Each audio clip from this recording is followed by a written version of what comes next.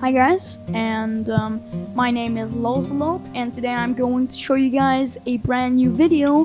And this video is, okay, you read the title, How to Breezily Bridge in Minecraft. So I'm going to give you steps what you need to follow and tips what you could do.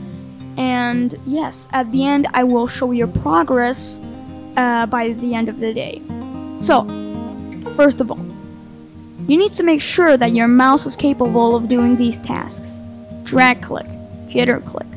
Or if your mouse can't do these things, then see if your mouse can double click, and with that you can butterfly click and get easy 20 CPS. If you can't do any of these, then it's going to be harder for you, but not impossible. You just need to time your clicks.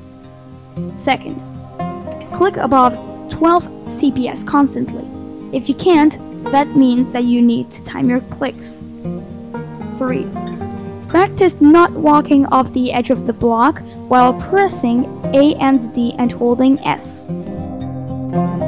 4. Start clicking 12 or higher CPS while walking backwards facing down. 5. Aim on the edge of the block if you want to use F3 it can help and click 13 CPS and walk backwards while pressing A and D. 6.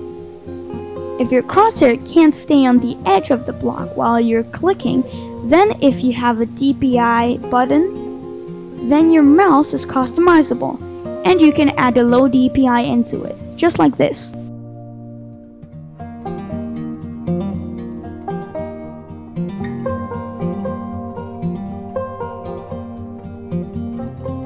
7. Practice on a server called mcplayhd.net. It will be in the description below. 8. If you made sure everything is done from the list, here is how you will improve day by day.